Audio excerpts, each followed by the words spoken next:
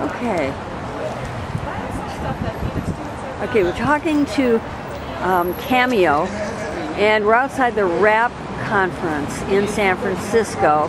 Western Regional Advocacy Project has gathered together people from Portland and LA and San Francisco to discuss issues about homelessness. And Cameo is going to tell me about a particularly